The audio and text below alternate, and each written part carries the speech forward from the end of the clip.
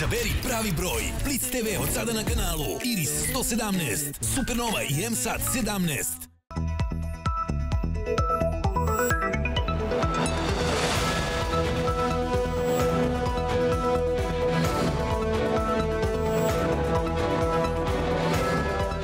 Gledate centralne vesti. Sa vama večeras.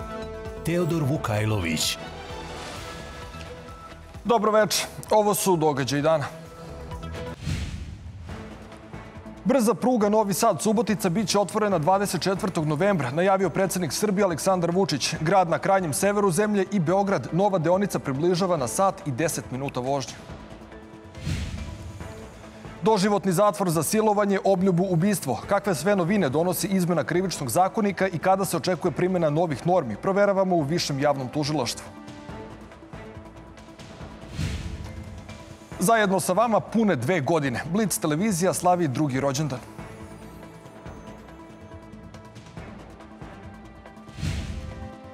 Sutra oblačno, povremeno kiše i pljuskovi, lokalno moguće i obilnije padavine. Maksimalna temperatura od 16 do 28 stepeni. Novoizgrađena deonica brze pruge od Novog Sada do Subotice biće otvorena 24. novembra, najavio je predsednik Srbije Aleksandar Vučić, koji je u društvu supruge i članova republičkih i pokrajinskih organa prisustvovao testiranju brze pruge. Kada bude otvorena, vozom će se od Beograda do Subotice stizati za sat i 10 minuta, od Novog Sada do Subotice za 40 budući da je reč o pruzi na kojoj će voz gotovo sve vreme moći da ide brzinom od 200 km na sat. Nakon test vožnje, predsednik Srbije je u Subotici obišao završne radove i rekonstruisanu staničnu zgradu. Ona će biti otvorena tek kada na njoj budu natpisi na mađarskom jeziku. Kako je rekao, završetak deonice od Novog Sada do Subotice od velikog značaja za Srbiju, budući da je deo povezivanja Srbije sa Budimpeštom. Mnogo sam srećan. Mi smo to brže uradili nego Mađari i za Suboticu mislim da je mnogo važno. Za Suboticu mislim da je mnogo važno. Mislim da je mnogo važno i za Mađare koji žive u Srbiji, za našu braću koja hoće da idu do Budimpešte. Za dve godine će im biti potrebno od Beograda do Budimpešte 2,40, znači odavde sat i po vremena. I mi smo uredili to da sa Mađarima dogovorili kako da se ide, a da se ne, ne staje na granici, nego da budu jedni i drugi u Beogradu i Budimpešti carinici. To je naš bilateralni dogovor sa Mađarima koji su evropljani prihvatili. Nema čekanja, jurimo preko granice i to je to. Tako da to su velike stvari, to su stvari koje menjaju sve. Ako budemo uradili Horgoš drugačije i sve novo i ogromno napravili, ako budemo dobili takozvane zelene koridore sa Evropskom unijom i sa Mađarima, to da dogovorimo, onda će to biti ogroman posticaj daljem rastu saradnje između Mađarske i Srbije.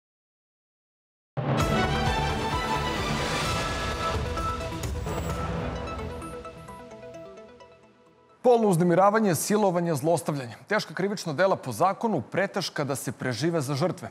Kada su glumice javne ličnosti pre nekoliko godina progovorile o svom iskustvu, otvorile su Pandorinu kutiju potisnutih i od javnosti nadležnih organa sakrivenih zlodela i trauma. Točak se je pokrenuo, ali ipak nije otvorio pitanje seksualnih odnosa u braku za koje nije dat pristanak. Silovanje u braku ostaje i dalje tabu tema. Silovanje, tema o kojoj se redko i nerado priča, drži se u tajnosti, ne iznosi u javnost, ne komentariše. Silovanje u braku, gledano statistički kao da ne postoji. Ličnih svedočanstava nema, o njemu se sazna ili govori tek posredno, najčešće kroz prepričavanje tuđeg iskustva. Pre nekoliko godina sam videla pretučenu ženu. Pretučenu jer je u drugom gradu stavila spiralu tajno, budući da u svom mestu nije mogla da ide kod ginekologa jer je njen muž verovao da je to za ku da spreči trudnoće koje su rezultat praktično silovanja u braku, jer se plašila za svoj život kada bi otišla na abortus. Strahovala je i od procedure i od svog muža. Prema podacima Evropske unije, jedna trećina žrtava silovanja iskusila je šest ili više incidenata sa aktualnim partnerom. U Srbiji u toku prošle godine pravosudni organi ubeležili su tek pet slučajeva silovanja u braku. Toliko je zapravo prijavljenih. Žene treba da znaju da ne moraju da pristanu na intimni odnos sa svojim partnerom ukoliko to ne žele i ja bih zaista apelovala sada na sve žene da prijave svaki oblik nasilja, seksualnog nasilja, bilo to u braku, bilo van braka, bilo da se radi o partnerskom nasilju ili ne, jer ukoliko na vreme prikupimo dokaze odmah nakon događaja, ukoliko institucionalno osnažimo žrtvu, moći ćemo na adekvatan način da procesuiramo izvršioce ovog krivičnog dela. Zakon postoji, ali u našoj sredini od njega je jači zakon tradicije, patrijarhata i verovanje da muškarci imaju prava, a žene dužnosti i obaveze. Kada imate napad od nekoga koga ne poznajete, kada imate napad, bez obzira da se on dešava na javnom prostoru ili u privatnom prostoru, dakle, više će ženama verovati da se to doista tako i dogodilo, nego kada imate e, prijavu silovanja od onoga s kim ste vi u braku ili u partnerskoj vezi. Manja je verovatnoća da se ženama poveruje, da treba im više dokaznog jel, materijala, što onda nije ta, tako lako izdržati. Naravno da će se okrivljeni braniti svim merama i u krajnjoj liniji može i da laži. Sram, strah, neznanje, nerazumevanje. Sve su to razlozi zbog kojih žene ne prijavljuju da su bile silovane u sobstvenoj kući, u sobstvenom bračnom krevetu. Ali zakon je jasan i ne ostavlja nedoumice. Izmenama zakona iz 2016. Eh, godine obrisan je član koji je predviđao da se gonjenje preduzima po predlogu oštećenog ukoliko je krivično delo silovanja izvršeno prema bračnom drugu, što je zaista jedan veliki korak napred eh, kada govorimo o zaštiti žrtava seksualnog nasilja. To znači da se sada gonjenje preduzima po službenoj dužnosti. Iz tužilaštva dodaju da je najvažnije da se u svakom pojedinačnom slučaju utvrdi da li je žrtva dala svoj pristanak bez obzira na odnos sa počiniocem i to bez obzira da li je postojao fizički otpor ili ne. Helena Košutić, Blitz televizija. Krivično delo silovanje predmet je i aktuelne javne rasprave o izmenama krivičnog zakonika. Predloženim izmenama za silovanje, obljubu i ubistvo predviđena je kazna doživotnog zatvora. Dvostruko su veće kazne za nasilje u porodici, a za napad na nastavnike i lekare traži se zatvor. Takođe, pooštrene su sankcije za teške saobraćajne nesreće. O predviđenim izmenama naša Bojana Bogosav razgovarala je sa tužiocem Miodragom Markovićem. Nacrt izmena krivičnog zakonika ušao u javnu raspravu. E, jedno od krivičnih dela koje je pretrpelo najviše promjena, odnosno najveća predložena kazna izmena je u toku je silovanje. E, šta podrazumevaju te izmene i kako će, kako će to izgledati u praksi? Kao što ste videli iz ovih e, nacrta zakona, odnosno predloga zakona, kako za krivično delo silovanje iz člana 178 koje je ranije postojalo, tako i za krivična dela obljuba nad nemoćnim licem i obljuba sa detetom, je došlo do promene samog naziva krivičnog dela, tako da će se sva tri krivična dela u buduće zvati silovanje. Ovakvim zaprećenim kaznama, znači doživotnim e, zatvorom kao maksimalnom zaprećenom kaznom, koja može biti izrečena svakom učesniku svih oblika ovog krivičnog dela, a ne samo onih najtežih oblika. Sećamo se da je u prethodno, u sada važećoj, e, e, kako da kažemo, verziji zakona moglo da se izrekne jedino ukoliko bi rezultiralo smrtnom posledicom kod žrtve ili bilo učinjeno prema maloletnom licu kazna doživotnog zatvora bi ostvarila ciljeve takozvane specijalne prevencije. Za nasilje u porodici kazne su i duplirane. Kako će to izgledati u praksi i koje su sankcije sada predviđene i koliko će to biti uh, u praksi primenjivano? Za onaj osnovni oblik čiji radnja izvršenja je primjena nasilja umesto ranije predviđene kazne od 3 meseca do 3 godine, sada će postaviti mogućnost da se izrekne kazna zatvora u trajanju od najmanje 6 meseci do 5 godina. Ukoliko je e, krivično delo izvršeno upotrebom oruđa, opasno, oružja, opasnog oruđa ili drugog opasnog sredstva, Kazna zatvora će umesto ranije predviđena od 6 meseci do 5 godina biti od 1 do 10 godina, što samo po sebi znači da će za ova krivična dela morati da se vodi istraga. Zaprećena je mnogo ozbiljnija sankcija i e, ova gornja kazna, maksimalna kazna od 10 godina, u skladu sa, odred, sa ostalim odredbama krivičnog zakonika dovodi do toga da tu neće biti moguće da se izrekne uslovna osuda. Teško delo protiv bezbednosti javnog saobraćaja, tu su predviđene i veće sankcije. Zbog čega je došlo do toga i koje su sankcije predložene nacrtom izmena krivičnog zakonika? Nagrubo mislim da nekih 80% krivičnih dela teških dela protiv bezbednosti javnog saobraćaja iz člana 297 stav 1 i 2 Uh, upravo otpada na te situacije gde je vozač vozio pod dejstvom alkohola u krvi koji prelazi onih dozvojenih 0,3 promijela ili pod dejstvom narkotika. Za onaj osnovni oblik za teško delo protiv bezbednosti javnog saobraćaja iz stava 1, gde smo imali ili štetu velikih razmera ili tešku telesnu povredu kod određenog lica, e, umesto ranijih od 1 do 8 godine zatvora, sada će biti moguće da se izrekne od 2 do 10 godina zatvora. Uglavnom, e, ne postoji mogućnost da se izrekne bilo kakva druga sankcija osim kazne lišenja slobode. U nastavku vesti o temi koju prati čitav svet o krizi na Bliskom istoku, a takođe postavljamo granicu gde je upotreba i zloupotreba veštačke inteligencije. Svet gleda u Izrael i strepi pred mogućim razmerama osvete koju je Tel Aviv najavio Iranu. Eksplozije odjekuju Bejrutom i Južnim Libanom, u ratu i Huti.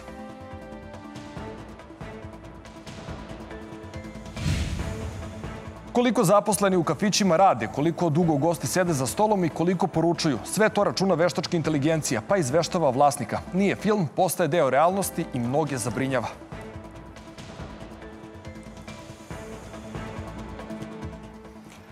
Pomorski, ali i sav ostali svet ovih dana pomno prati kretanje teretnog broda Katrin koji plovi pun eksploziva namenjenog Izraelu. Brod je trenutno blizu hrvatskih voda jer se pretpostavlja da traži dopuštenje tamošnjih vlasti za usredrenje. Prethodno su ovom brodu koji plovi pod portugalskom zastavom vrata zatvorile brojne luke, uključujući luku Bar u Crnoj Gori kao i glavnu luku u Namibiji. Vlada te zemlje je objavila i dokument koji potvrđuje da je eksploziv namenjen Izraelu. Izjave iz Slovenije i Portugala ukazuju na to da brod ide prema Crnoj Gori i slovenačkoj luci Kopar, gde će iskrcati svoj teret. Hrvatski mediji prenose da je u pitanju eksplozivni materijal za pravljanje bombi i projektila. Oči sveta uprte su Bliski istok. Nakon kopnene invazije Izraela na Liban i iranskog raketiranja Izraela čeka se odgovor Tel Aviva. Strahuje se da će biti silovit. U međuvremenu eksplozije odjekuju Beirutom, ali i u Siriji, a uključili su se i Huti. U strahu od eskalacije sukoba zemlje pozivaju svoje građane da napuste region, što je učinila i ambasade Srbije u Libanu. Na stotine hiljada ljudi već je migriralo ili interno raseljeno iz te zemlje, a pred nama je novi talas migracija usled proširenja sukoba na Bliskom istoku. Hoćemo li osetiti posledice ovog rata? Hoće li biti nestašica? Pratimo li vesti i kako ih tumačimo? Razgovarali smo o tome sa Beograđanima i Beograđankama. Svaki pametan se plaši rata, pogotovo ko je osetio ali toliko uzavrelo i na istoku ne valja. Ne valja ni ovo šta se dešava u Evropi. Zabrinut sam. Iza bliskoistočnog rata stoji Amerika i takozvani kolektivni zapad. E sad, da li će da se proširi, to je verovatnije nego da će da se smiri. Neće stigne ovde, to su njihovi tamo odnosi, a čim se završi izbori u Americi, taj rat će prestati. Jeste uplašeni za situaciju ovde u Evropi? Ne. Pa ne znam da vam pravo kažem sve što sam preživjela, tako da ja sam već starija, mene ništa ne može uplašiti. već smo sve doživjeli, nažalost. Ne smiruje se situacija ni na ukrajinskom frontu. Rad se sve više preliva na teritoriju Rusije. Dronovi odbrbenih snaga Ukrajine napali su ruska skladišta bombi aviona na vojnom aerodromu u Voronjaškoj oblasti u Rusiji. Informaciju su potvrdili izvori iz vrha ukrajinskih obaveštajaca. Prema njihovim saznanjima, služba bezbednosti Ukrajine nastavit će da preduzima aktivne mere za smanjenje sposobnosti neprijatelja u cilju demilitarizacije ruskih vojnih aerodroma.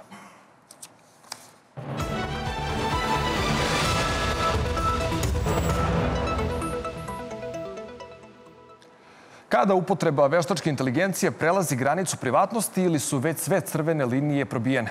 Ideja kompanije Neurospace pokazala je da će kafići u budućnosti koristiti veštačku inteligenciju za praćenje produktivnosti zaposlenih, ali i zadovoljstva kupaca.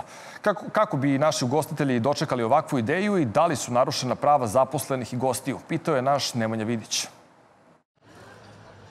Sedite u kafiću, pijete kafu i neko vam broj minute provedene u lokalu. Ili radite u gostiteljstvu i šef vas pozove i pita zašto sediš već 18 minuta. Ovi, ali i drugi scenari bili bi mogući ukoliko zaživi sistem analize produktivnosti i kvaliteta rada zaposlenih. Na ovaj način, navodi kompanija čija je ovo ideja, može se pratiti promet posetilaca i procenjivati učinak osoblja. Ljudi dolaze u neke lokale zato što im je lepa atmosfera, zato što im je ljudi koji rade ih čine srećnim i zato što imaju neki dobar proizvod. Ovdje će to sve da se, da se pomeša i mislim da je ovdje, pogotovo našem mentalitetu, to ne, ne, ne, neće prijati. Nekim drugim mentalitetima možda, kod nas mislim da, je, da će biti katastrofa.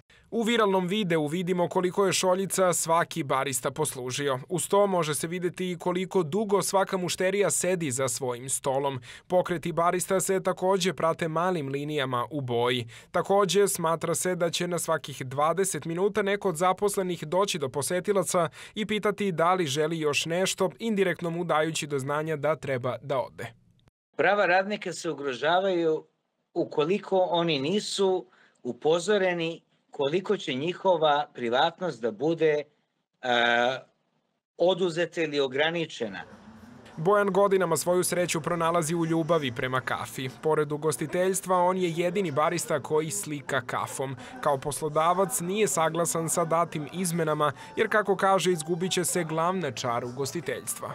Ugostiteljstvo u samo korenu reći im ugostiti, što znači nekom učiniti neko zadovoljstvo i nekog dočakati osmehom i sve to što ide uz to. Mislim da je ovo nešto što je prebrzo došlo i ne, mislim po meni ne treba nikada da dođe, ali gubi se onaj ljudski odnos koji je najbitniji u gostiteljstvu. Šta to znači? Da li će neko doći posle 20 minuta i opomenuti je sa, sa rečenicom jer vam treba nešto još da bi otišli u, u kući? Pa mislim da to nije okej. Okay. Kako bi se zaštitila prava radnika, potrebno je sve detaljno utanačiti u ugovoru o radu ili angažmanu, zaključuje Mrkić. Realnost je ta da će verovatno poslodavac da ima standardizovane u, ovaj ugovore i e, dakle sa jedne strane odgovor na vaše pitanje je da radnik ako pročita tačno šta se sve od njega očekuje, on može da pregovari, da kaže ovo na ovo pristajem, na ovo ne pristajem. Firma koja je zadužena za celu novinu objašnjava da je njihova tehnologija uglavnom usmerena na bezbednost i praćenje potencijalne krađe. Nemanja Vidić, Blitz televizija.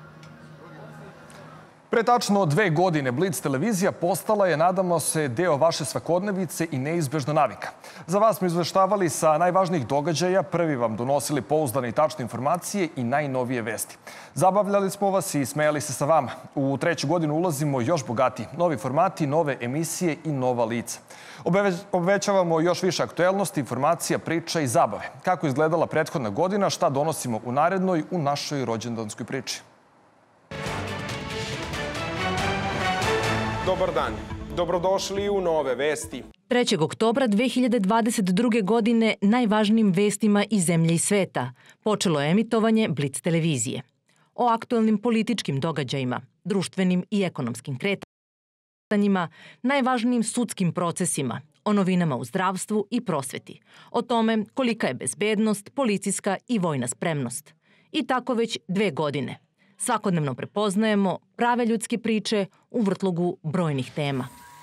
Iako ima spinalnu mišićnu atrofiju i ne može bez kolica, 11-godišnji Lazar Živković ne skida osmeh sa lica. Vuku se ostvarila životna želja. Bambika je već četiri meseca u porodici Todorović. Nju je Atifa Ljajić pre sedam godina donela na svet u svojoj sedmoj deceniji. Hrabrost, humanost i ljubav prema poslu svakako u genima. Pratimo događaje ispod radara kao i ljude u fokusu. Gledate specijalnu emisiju posvećenu poseti kineskog predsednika Xi Jinpinga Srbiji. Na početku idemo na jedno od biračkih mesta u Beogradskoj opštini Stari grad. Možda je čak i današnji izbori dan bio dinamičniji nego čitava kampanja pre toga. Dobro jutro. Dobro jutro. Dobar dan. Dobar dan i od mene. Već drugu sezonu se budite sa nama uz Jutro na Blic. Mi imamo najlepša jutra u svakom gradu. Popodne provodite uz Blic dan. A predveče sumirate sve informacije i utiske uz Blic uživo. Ja sam izgubio sine čerku i ja više nemam strah. Ja nemam strah. Naši reporteri su uvek u pravo vreme na pravom mestu. Teodore, mi se nalazimo ispred kuće ubijenog policajca Nikole Krsmanovića. Kod Lazarevca nešto prije 13 časova dogodila se stravična saobraćajna nesreća. Najavili su da će od 18 sati početi blokade, trajeće naredna dva dana. Nalazimo se u mestu Banjsko polje kod Bora u neposrednoj blizini kuće Male Danke Ilić. Da vatrogasne službe nisu bile na visini zadatka, ovo što vidite iza mene bi moglo biti zgarište. Izveštavamo o najvažnijim događajima u zemlji i svetu. Govorilo se o aktualnoj situaciji u regionu, ali i u planovima za budućnost, kao što si rekao, planu rasta Zapadnog Balkana. Nakon 33 godine pauze, avion iz Beograda sleteo je u Mostar. Elzane, kakav je Blic sparing partner i može li Blic na olimpijadu? Naravno da može, vidimo se na olimpijskim igrama. Sjajne vesti stižu iz Pariza pretposlednjeg dana olimpijskih igara.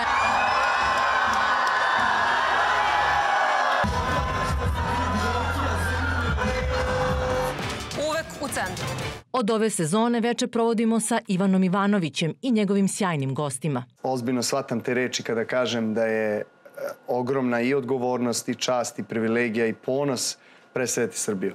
Tu su četiri i po muškarca da vas nasmeju, ali i dame sa hercom koje govore o svim životnim temama iz ženskog ugla.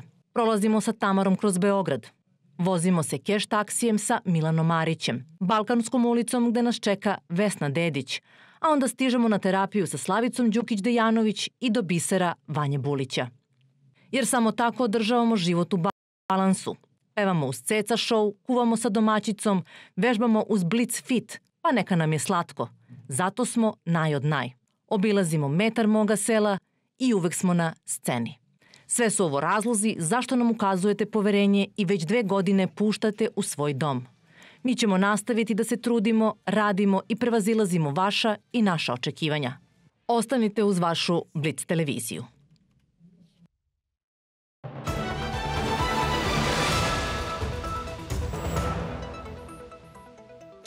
Asocijacija profesionalnih tenisera koju je osnovao Novak Đoković razmatra mogućnost da preduzme pravne mere koje bi mogle da preoblikuju beli sport. Ova organizacija je angažovala nekoliko globalnih advokatskih firmi kako bi promenila potpunu strukturu tenisa.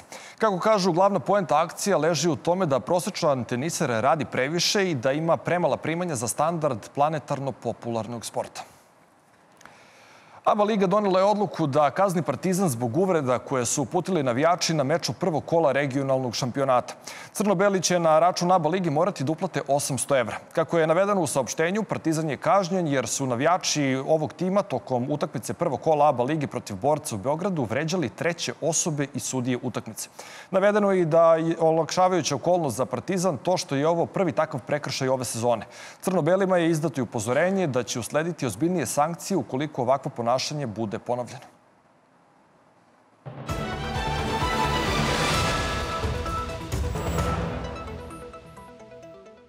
Na redu je i detaljna vremenska prognoza. U Srbiji sutra oblačno, povremeno sa kišom i pljuskovima. Na jugu i na istoku Srbije pljuskovi će biti praćeni i grmljavinom. Očekuju se i obilnije padavine. Vetar u skretanju na severozapadni, dok će na jugu i istoku Srbije duvati jugoistočni vetar. Jutarnja temperatura od 12 do 18 stepeni, maksimalna dnevna od 16 na severozapadu do 28 na jugoistoku Srbije. U Beogradu u petak oblačno, povremeno sa kišom i pljuskovima. Jutarnja temperatura 17 stepeni, maksimalna dnevna 21 stepen. U Srbiji narednih dana umereno do pretežno oblačno, povremeno sa kišom i pljuskovima, sa grmljavinom. Biće i svežije. Pratili ste Centralne veste. Hvala na pažnji i ostanite uz naš program. Ja vam želim prijatno večer.